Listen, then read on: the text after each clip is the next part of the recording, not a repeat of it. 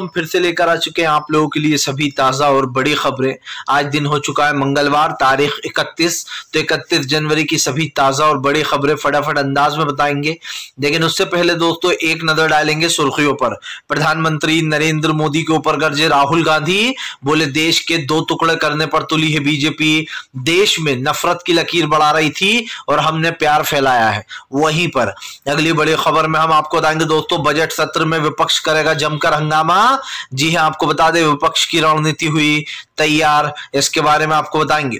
वहीं पर अगली बड़ी खबर में हम आपको बताएँगे, दोस्तों, दरअसल आपको बताते चले, पठान ने रच दिया इतिहास। जी हाँ आपको बता दे, भारतीय जनता पार्टी और पूरे अंधभक्तों ने फ़िल्म को जमकर बायकॉट किया। उसके बावजूद भी पठान ने सारे रिकॉर्ड तोड़ दिए, केजीएफ को भी पछाड़ दिया। वहीं पर अगली बड़ी खबर में हम आपको बताएँगे, दोस्तों, अखिलेश यादव का बीजेपी के ऊपर बड़ा हमला। बोले, बीजेपी के लिए सिर्फ़ हमारा एक ही प्लान है कि 2024 में जनता खदेड़ कर भगाएगी, लेकिन बीजेपी के लिए अभी भी 2022 ही चल रहा है। इसके बारे में आपको बताएँगे। वहीं पर, गौतम अडानी दोस्तों, हुआ बर्बाद तो याद आने लगी भारत की। दरअसल आपको बता दें हिडवन रिसर्च सेंटर को जो पन्नों की रिपोर्ट सौंपी गई है, उसमें कहा गया कि इस रिसर्च सेंटर ने झूठ बोला है और ये भारत पर सीधा हमला है। आप समझिए दोस्तों, भारत का उद्योगपति बर्बाद हो रहा है, तब भारत की याद आ गई। इसके बारे में भी बताएँगे। वहीं पर अगली बड़ी खबर में हम आपको बताएँगे, केजरीवाल का बीजेपी के ऊपर बड़ा हमला। बोले, फ़िलहाल अब जल्दी ही लाया जाएगा जल बोर्ड के लिए बिल। अगर बिल ज़्यादा आए तो मत भरो। जी हाँ बिल बिल माफीनामा लाएँगे। इसके बारे में आपको बताएँगे। वहीं पर। अगली बड़ी खबर में हम आपको बताएँगे, राहुल का पीएम नरेंद्र मोदी के अब ऊपर बड़ा हमला। बोले, चीन ने हमारी ज़मीन कब्जा कर ली है, लेकिन पीएम नरेंद्र मोदी इस पर नहीं बात करेंगे। वहीं पर अगली बड़ी खबर में हम आपको बताएँगे, दोस्तों, महाराष्ट्र में 2024 में बीजेपी को लगेगा बड़ा झटका, महागठबंधन जीतेगी सबसे ज़्यादा सीटें।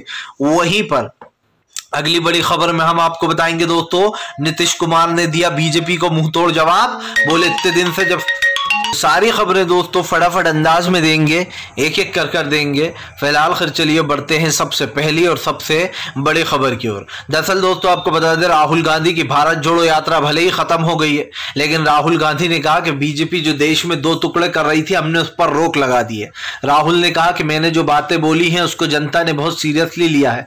राहुल गांधी ने कहा कि भारत जोड़ो यात्रा का मतलब सिर्फ़ एक ही था कि देश में जो नफरत फैलाई जा रही है, जो भाईचारे को खत्म किया जा रहा है, उसको हम किसी तरीके से कंट्रोल कर सकें। राहुल ने कहा कि राजनीति सब अपनी जगह है। हमने ये सब कुछ राजनीति फ़ायदे के लिए नहीं किया है। लेकिन ये जो नफरत फैलाई जा रही थी, इसको रोकने को ज़रूर किया है। हालाँकि राहुल ने यह भी बोला कि ऐसा नहीं है कि कोई भी विपक्ष पार्टी कहेगी कि हमें वोट मत दो या फिर हमने ये राजनीति फ़ायदे के लिए नहीं किया। राहुल गांधी ने कहा कि देश में बदलाव की ज़रूरत है। एक ऐसी सरकार चाहिए लोगों को जो पढ़ाई पर, महँगाई पर, गरीबी पर, बेरोजगारी पर सोचे। एक ऐसी सरकार नहीं चाहिए जो मंदिर, मस्जिद, हिंदू, मुसलमान दिन रात करती रहती हो और ऐसी सरकार किसी काम की भी नहीं है। आप समझिए दोस्तों, मान लीजिए अगर किसी जगह पर मंदिर बन जाता है तो क्या आपको दोस्तों रोज़गार मिल जाएगा? मान लीजिए कहीं पर मस्जिद बन जाती है तो क्या आपको रोज़गार मिल जाएगा? नहीं बने, मिलेगा। क्यों नहीं मिलेगा दोस्तों? क्योंकि ज़ाहिर सी बात है, ये सब तो आपको भटकाने के मुद्दे हैं, ताकि आप लोग इस सरकार से जो असली सवाल है वो ना पूछ पाओ। इस सरकार का मकसद क्या है? राहुल गांधी ने कहा लोगों को भटकाना। राहुल ने कहा कि हमने हमारे हमेशा भाषणों में कहा कि हम नफरत की बाज़ार में मोहब्बत की दुकान खोलेंगे और मेरे वो डायलॉग लोगों को बहुत पसंद आए।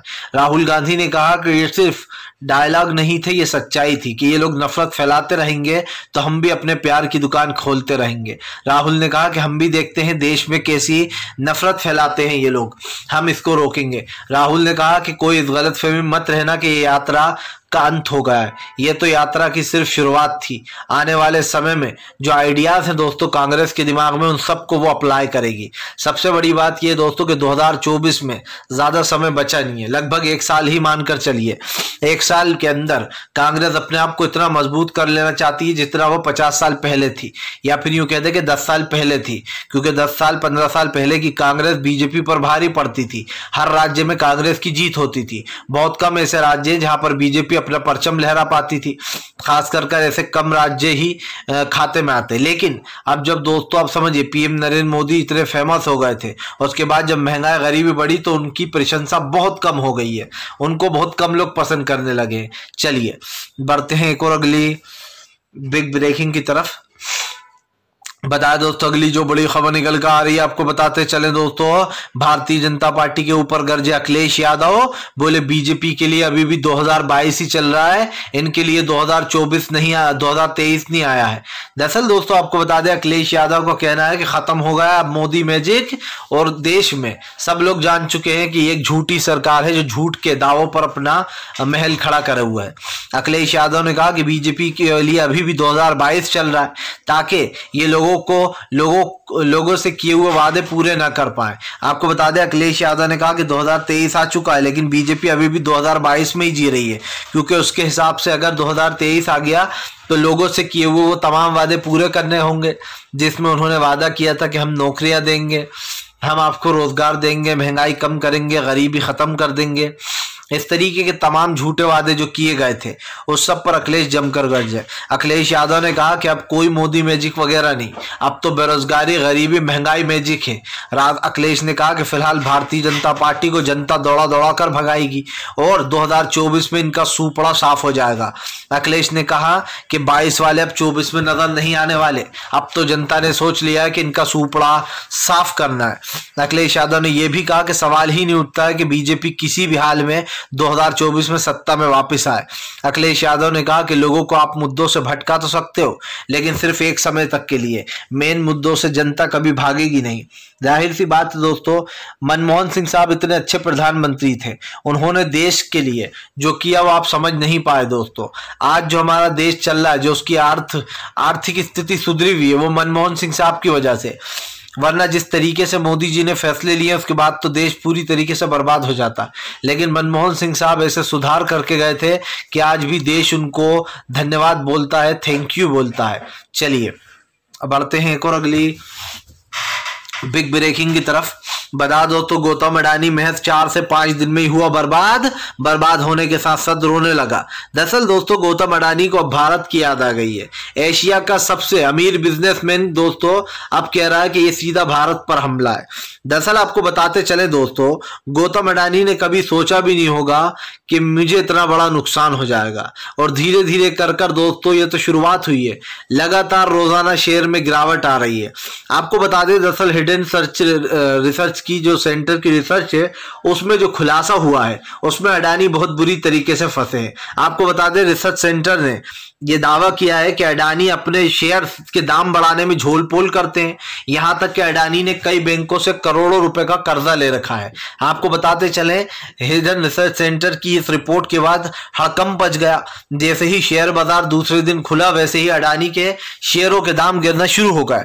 आपको बताते चले, अब तक अडानी ग्रुप को कितना नुकसान हो चुका आप समझिए, अब तक तो गौतम अडानी को कोई नुकसान नहीं सिर्फ़ मोदी सरकार ने संपत्तियाँ बढ़वाई।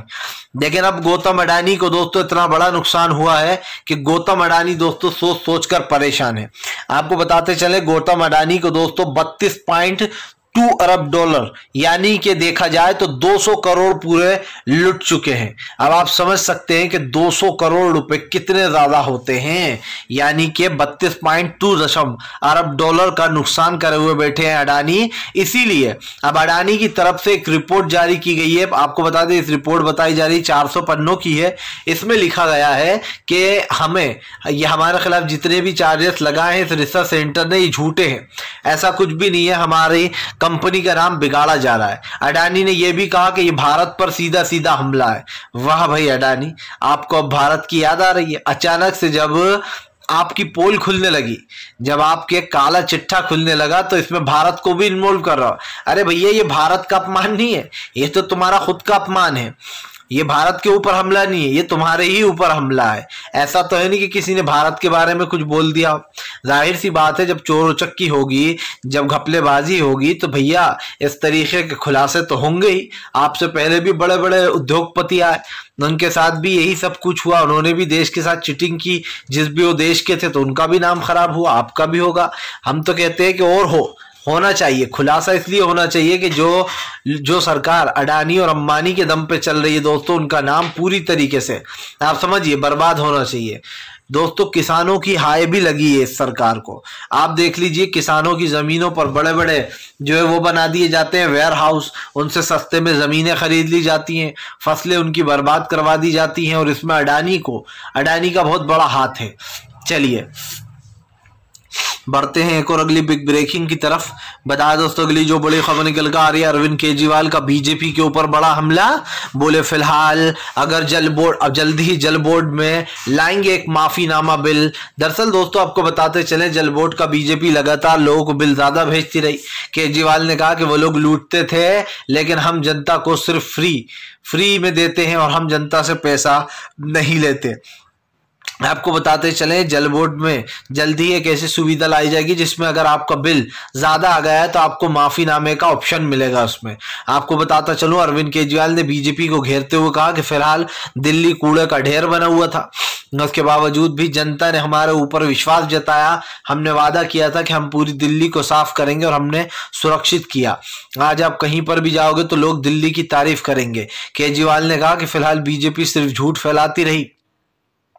और दिल्ली की जनता को लूटने का काम करती रही। अरविंद केजरीवाल ने कहा कि फ़िलहाल ये लड़ाई स्वच्छता की नहीं है, लड़ाई देश की लड़ाई है। और ज़ाहिर सी बात है दोस्तों, जो जब तक बीजेपी पंद्रह साल रही, पंद्रह साल उसने एमसीडी में कब्जा जमाए रखा।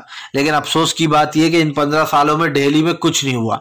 और यही कारण है दोस्तों, जो अब अरविंद केजरीवाल बीजेपी के ऊपर भारी पड़ना और साफ़ सी बात होगी ये है दोस्तों कि बीजेपी को एक बड़ा झटका यहाँ पर लग भी रहा है, क्योंकि आप भी जानते हैं कि फ़िलहाल ये एक बड़ा मुद्दा है। भारतीय जनता पार्टी इसके ऊपर कितनी बातें कर ले, कितना ही कुछ बोल ले, लेकिन सच्चाई तो यही है दोस्तों कि देश की जो परिस्थितियाँ हैं वो काफ़ी बदल चुकी हैं। और आज हमारा देश जिस परिस्थितियों से गुजर रहा है, उसकी बीजेपी जिम्मेदार है।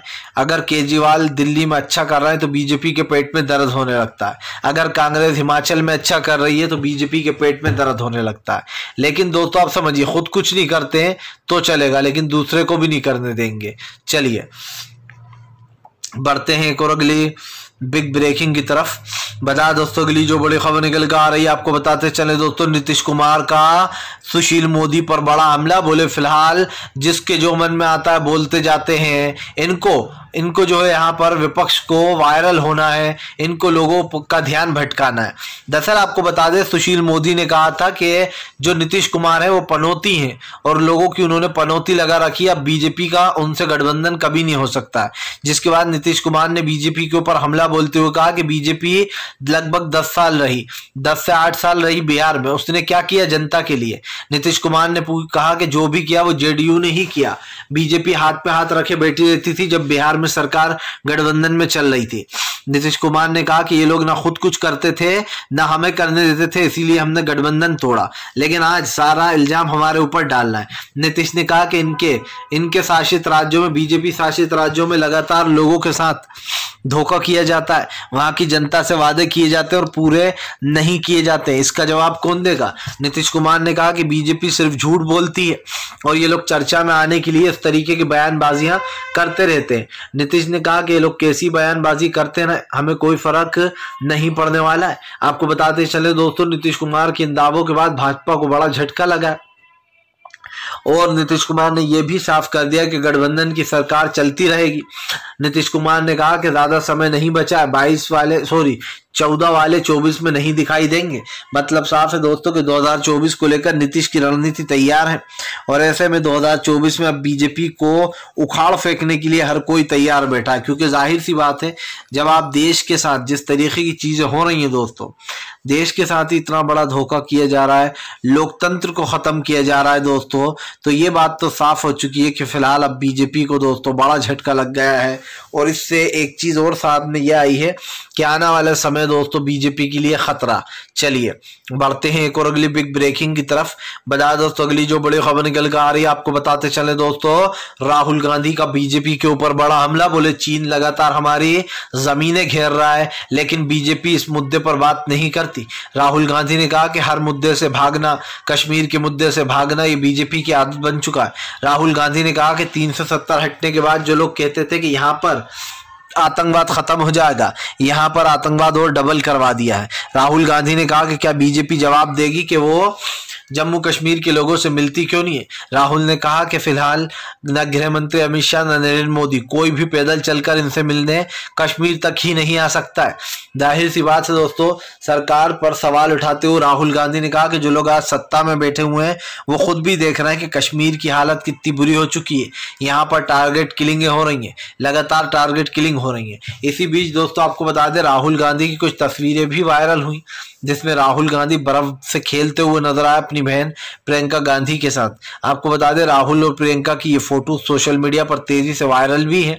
राहुल गांधी और प्रियंका गांधी बिल्कुल बच्चों की तरह खेल रहे थे। ये समझ लीजिए दोस्तों कि फ़िलहाल राहुल के कुछ ऐसे मोमेंट आए सामने जो लोगों को बहुत पसंद आ रहा है। हमेशा ही राहुल गांधी की वीडियोस आती रहती हैं जिसमें लोग उनको काफ़ी प्यार देते हुए नज़र आते हैं। ज़ाहिर सी बात है, ये प्यार दोस्तों वोटों में भी तब्दील होना चाहिए, क्योंकि देश में आज बदलाव की ज़रूरत है, सरकार बदलेगी, तभी हमारा देश बदलेगा। जो लोग दोस्तों देश की संपत्तियाँ बेच रहे हैं, ये सोचकर कि देश को पूरा गिरवी रख दिया जाए, ऐसी सरकार से हमें अपने देश को छुड़ाना होगा, तभी हमारा देश बचेगा। और ये आप भी समझते हैं कि ये मैं क्यों कह रहा हूँ। चलिए।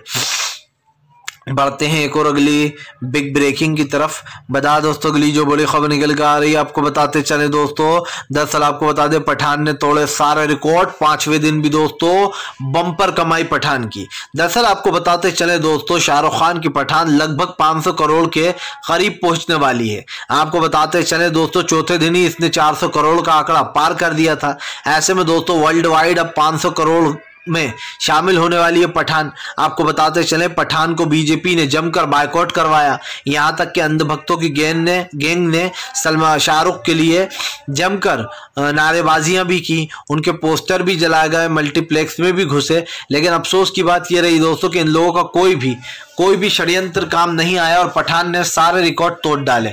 आपको बताते चले, दोस्तों, ये बीजेपी के लिए मुसीबत की घड़ी है, क्योंकि बीजेपी ये सोच रही है कि बाइकआउट करने के बाद, हिंदुत्व, आप समझिए, हिंदुत्व का यूज़ करने के बाद, लोगों को ये कहने के बाद कि अगर तुम्हारे अंदर जरा सा भी हिंदू रक्त है, यानी कि खून है हिंदू तो तुम लोग ये फ़िल्म देखने मत जाना। इस साध्वी प्रज्ञा ने कहा था, लेकिन उसके बाद भी, दोस्तों बम्पर कमाए इससे बीजेपी को लग रहा है कि क्या हिंदुत्व का मुद्दा खत्म हो गया क्या 2024 में भी पठान की तरह ही हाल होगा हमारा। क्या अब लोग 2024 में हमें छोड़कर कांग्रेस को वोट देने वाले हैं? और ये साफ़ बीजेपी के दिमाग में ये सारे सवाल घूम रहे हैं, क्योंकि पठान सुपर हिट होने के बाद बीजेपी के ऊपर भारी पड़ गई। और जितने भी लोग थे दोस्तों, जितने स्टार थे, जिन लोगों को ये कहकर टारगेट किया जा रहा था कि बाइकआउट गैंग जो आपकी फ़िल्में फिलअप करवा रही है, उन लोगों को दोस्तों बड़ा झटका लग गया।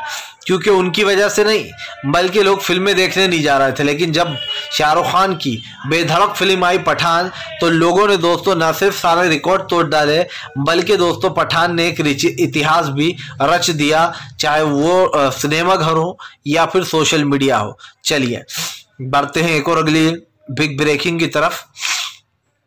बता दोस्तों अगली जो बड़ी खबर निकल कर आ रही है, आपको बताते चले दोस्तों। कांग्रेस का गौतम अडानी के ऊपर बड़ा हमला, बोले बीजेपी के परम मित्र जयराम रमेश बोले, गौतम अडानी का सच पर अब बीजेपी बोलेगी या नहीं?